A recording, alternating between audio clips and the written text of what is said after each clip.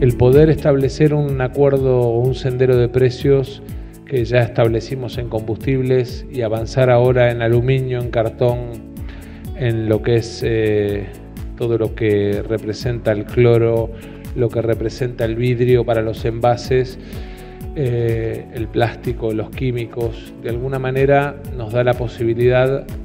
de que todas aquellas empresas que participan en los procesos productivos en la Argentina tengan previsibilidad, avanzar en un, en un esquema de ordenamiento que acompaña el programa de precios justos y que acompaña el programa de sendero de precios que establecimos en más de 32.000 productos. Pero entiendo que mirado en perspectiva para los próximos 12 meses va a ser importante no solamente para ustedes, sino también para la mayoría de los argentinos que lo van a ver en alivio en el bolsillo, aunque parezca imposible asociar el PET, el polietileno o el aluminio con el bolsillo de la gente, lo concreto es que cada uno de los productos que consume están integrados por parte de lo que ustedes producen, así que era importante para nosotros este acuerdo.